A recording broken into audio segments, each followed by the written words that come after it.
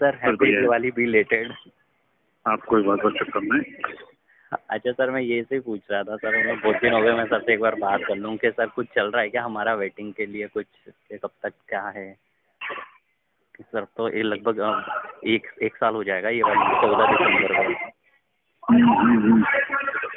अभी तो कुछ भी नहीं चल रहा है यार क्योंकि अभी वो मेन पैनल वाले भी नहीं हुए हैं तो हाँ सर ये मेन पैनल वालों का ही पता नहीं क्या चल रहा है। आज है ना एक ग्रुप में रिकॉर्डिंग आई थी तो उसमें कोई अपने चतुर्वेदी जी आसमा आसमा के हैं जो हैं तो हम्म। उनकी वॉच थी। मतलब भोपाल से वो तो डिप्टी एसएस थे वो शायद पहले। हम्म। तो वो यहाँ पे अब जबलपुर चले गए हैं तो उन्हों की रिकॉर्डिंग थी अच्छा, डाली थी। तो वो बता रहे थे कि हम्म। पता नहीं क्या वहाँ पे पूरा पैक्ड है जून जुलाई तक के लिए। क्या हाँ वो क्या कोविड के कारण क्या ट्रेनिंग में भी क्या आधा स्लॉट कर रहे हैं वो लोग कम कर रहे हैं ना? अच्छा। वहाँ पे क्या ट्रेनिंग इंस्टीट्यूट में इकट्ठे हॉल्स रहते हैं? वहाँ पे कई लड़के आ जाते थे। हम्म। पर वो कोविड के कारण वो डिस्टर्ब डिस्टर्ब हो गया। अच्छा जो फुल स्ट्रेंथ पे जितना चलना चाहिए था उतना स्ट्रेंथ से चल नहीं पा रहा है वो ट्रेनिंग नहीं उससे काफ़ी कम एक तो बीच में काफ़ी सारी ट्रेनिंग कैंसिल भी हुई। हाँ। और फिर अभी भी स्ट्रेंथ पूरी नहीं हो पा रही है।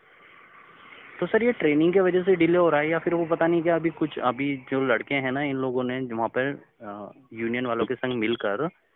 उन्होंने बहुत बड़ा वो प्रोटेस्ट करा था वहाँ पर न्यूज़ वगैरह में भी आई थी बात तो वहाँ के सीपीओ हम्म। जीएम जीएम सर से और सीपीओ से भी बात हुई थी तो वही बोल रहे थे कि हम लोगों से काउंटिंग ही गलत हो गई है। ज़्यादा लड़के हम्म। ज़्यादा पोस्टें काउंट हो गई है तो ये सही है क्या सर अब ये तो वही बताएँगे उन, उन्होंने हमसे जितना मांगा हमने पूरा दिया है। हाँ हाँ मैं मैं मतलब ग्रुप में ये बोल रहा हूँ मैं मतलब बोर्ड की इसमें कोई गलती नहीं बोर्ड से तो जितना मांगेंगे वो तो उसके अकॉर्डिंग ही करेंगे ना काम। बिल्कुल। अगर तुम हज़ार मांगोगे तो हज़ार के अकॉर्डिंग करेंगे तुम सौ मांगोगे तो सौ के अकॉर्डिंग करेंगे। बिल्कुल। तो सर फिर अब क्या कर सकते हैं? फिर सर और सर ये अपने डब्ल्यू आर की तरफ़ से क्योंकि अभी एक आर टी आई लगाई थी ग्रुप में लड़कों ने हम्म। तो अपने रतलाम डिवीज़न तो अपने इसमें ही आता है। हम्म। तो उसमें लगभग 108 सीटों का वो बता रहा है वो कि वैकेंट है। तो सर उसके हम्म। लिए कुछ कर सकते हैं क्या अपन? अरे वो हमें लिख के दे देना जिस दिन हमको आज लिख के दे दें जैसे। हम्म। हम कल भेज देंगे। तो सर फिर अपन जैसे डब्ल्यू सी आर में तो अभी कुछ बता चली वो मतलब कि वहाँ पे अभी पहले की नहीं हुई है लेकिन अपने डब्ल्यू आर वाले जो हैं उसका तो हाँ। लगभग अपना प्रोसेस कंप्लीट हो चुका है और लड़कों ने इतनी आर टी आई लगाई है सर मैं आपको अगर हम्म। स्क्रीन शॉट भी भेजूँ ना आप देखते हम्म। देखते परेशान हो जाओगे उन्होंने हर हम्म। उसका मतलब अपने अहमदाबाद बड़ौदा रतलाम हम्म। सब में आर टी आई लगा दी है डिवीजनों पे तो उन्हों के पास ये भी आ हम्म। गया कि भोपाल बोर्ड से जितने भी लड़के गए थे उनसे हम्म। कितने नॉन टर्न अप हुए हैं तो उनका डाटा निकल के हम्म। आया लगभग उनतीस लड़कों को दो सौ छप्पन में से उनतीस लड़के तो हम्म। इसके हो गए अपने नॉन टर्न अप हम्म। और 100 110 जाने 120 लड़के अपने डब्ल्यूसीआर से नॉन टर्न अप हो चुके हैं हम्म। तो सर उसके रिप्लेसमेंट के लिए फिर करें तो क्या करें अगर डब्ल्यूसीआर नहीं तो फिर डब्ल्यूआर में करें तो फिर डब्ल्यू में कहाँ पे अप्रोच करें सर नहीं वो तो देखिए वो उनका जैसे ही कंप्लीट होगा सीपीओ हमें भेजेगा अच्छा दोनों का सीपीओ भेजेगा जिसका सीपीओ हमें पहले भेजेगा हम उसको पहले क्लियर कर देंगे। हम्म। उसके बाद जो भेजेगा उसको भी क्लियर कर देंगे। तो सर अब तो वैसे तो ये कॉमन वेटिंग होगी ना आपके पास जिसके पे जिसकी भी तरफ़ से आएगा आप तो वहाँ पे कॉमन वेटिंग जो रैंक के अकॉर्डिंग उसके अकॉर्डिंग भेज दोगे फिर? बिल्कुल बिल्कुल। अच्छा अच्छा। और सर एक अभी कुछ लड़कों की वो वहाँ गए थे कोलकाता अपने कोलकाता वाले सीपीओ साहब से मिलने गए थे। हाँ हाँ। ठीक है तो वहाँ के सीपीओ सर ने ना उनको ये बोला कि आप हाँ। लोगों का सबका होगा। हम लोगों ने तैयारी इसलिए कर रखी है क्योंकि हमने यूँ समझ लो कि खाना बना रखा है हमने। हमको जब भी हम्म, ज़रूरत हम्म, होगी ना बस हमको प्लेट में डालना है और खाना है।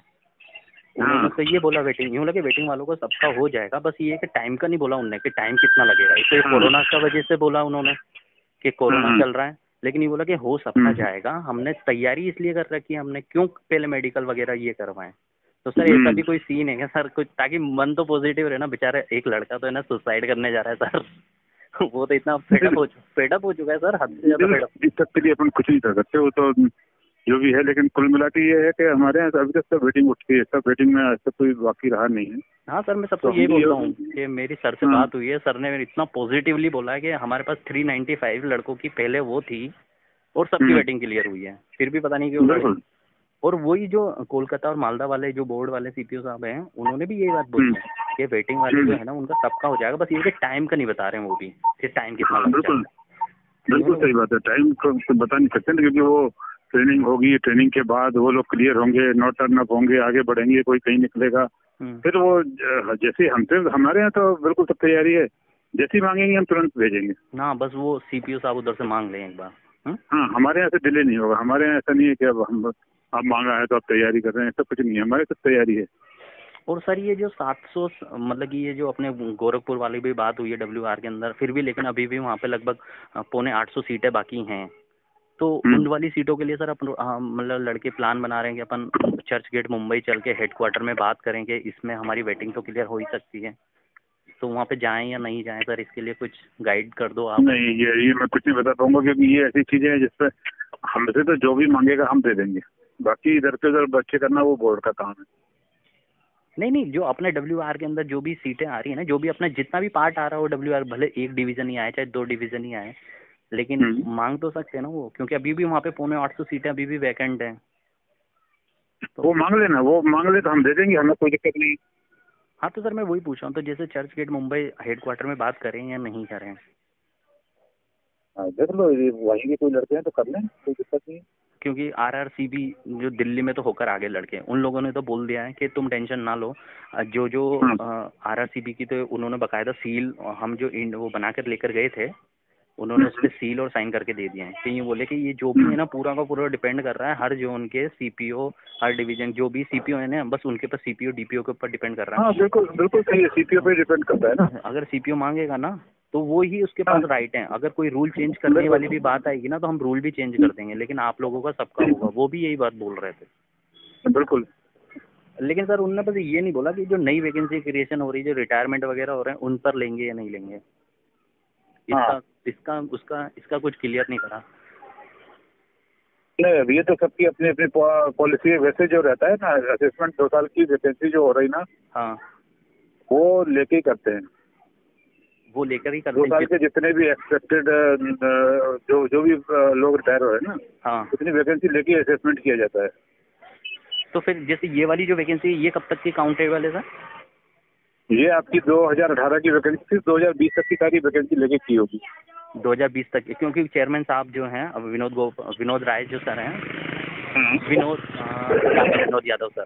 चेयरमैन जो है रेलवे बोर्ड के चेयरमैन उन्होंने भी जब प्रेस कॉन्फ्रेंस कर रहे थे अभी तो उन्होंने भी यही बात बोली थी कि हमने जो काउंटिंग कर रखी है दिसंबर टिल दिसंबर दो हज़ार बीस की कर रखी है। हाँ दिसंबर की वैकेंसी की कर रखी है। अच्छा तो सर अब तो अभी जो भी वैकेंसी है हम्म, हाँ अभी जो भी वैकेंसी आएगी वो आप लोगों में से है। और फिर जैसे सर जो भी 2020 20 के बाद 21 में जो भी रिटायरमेंट्स होंगे या जॉब क्रिएशन होगी या नॉन टर्न अप होंगे जो भी होगा हाँ। तो उस पर भी वेटिंग वाले ही चलते रहेंगे जब तक नई वैकेंसी नहीं ये ये फिर सीपीओ सीपीओ सीपीओ देखेंगे सीपीओ उसको देखेंगे। यदि कैंडिडेट में से अभी तक हमें बचते नहीं थे तो ऐसी पहली बार ऐसी परिस्थिति उत्पन्न होगी। हम्म। और फिर नहीं फिर क्योंकि जैसे मानो सर अभी तो 2020 तक का तो आपने काउंट कर लिया है लेकिन है। 21 अगर जैसे नई नहीं वो वो अलग अलग सीपीओ डिसाइड करेंगे कितनी वैकेंसी हो रही है कैसा क्या है। और नॉर्मली ये है कि जब हमारे पास सिलेक्टेड कैंडिडेट है तब उन्हीं में से लें। हाँ जहाँ तक जब तक नई वैकेंसी का नहीं बनता है। क्योंकि सर ए, एक है ना एक हम जब वहाँ गए थे ना तो हमने ये वाली बात भी बोली थी कि बेंगलोर बोर्ड की कोई बात हुई थी सर। बेंगलोर बोर्ड ने ऐसे बोला है वहाँ पर आरआरसीबी के अंदर की जो 50 परसेंट एक्स्ट्रा कैंडिडेट है ना हम्म। उसको मेंटेन करने में उसको दिक्कत आ रही है। तो उन्होंने हम्म। बोला कि इसको है ना हटाया जाए। उसने ऐसे बोला होगा वहाँ पर।